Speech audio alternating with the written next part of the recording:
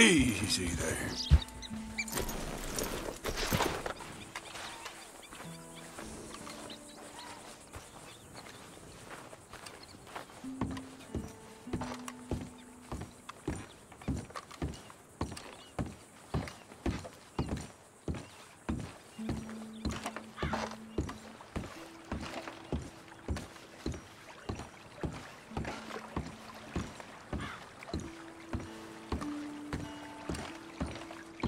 Are you? Hey, Ah, ah. Gah. Hello, chum. chum? Do you want an autograph or a photograph? I'm sorry? People often get nervous, but there's really no need to. I, am just a, just a normal guy who, well, happens to be very famous. Okay. Who are you? Jeremy Gill, Who? The famous fisherman. I've written a lot of books. I'm in the newspaper all the time. Here's one from the New Hanover Gazette from a few years back. And this is a book I wrote. Huh? I wrote it. Good for you. You really don't know who I am? Ah. Oh, well. Nice to meet you. You too. Arthur. Sure you don't want a photo? Uh, not right now.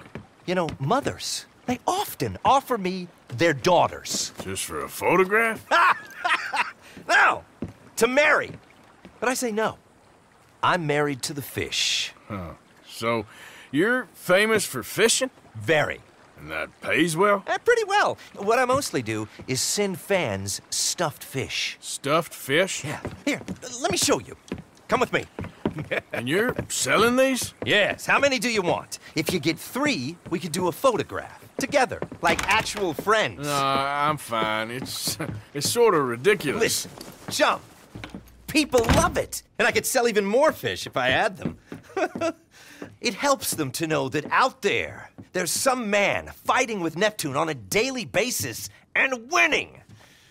Okay. But I can't catch enough of them. And there's really good money in this. I'll fish a little. You do? Well, in that case, send them to me. Uh, of course, uh, not if they're too rotten. Do you like that bass? I'd sell this for $50. I'd give you 15. Send you fish. Ooh, my card and a map. Well, maybe I shall.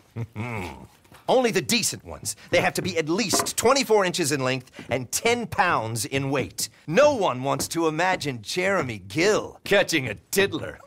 There's no money in tiddlers. So I hear.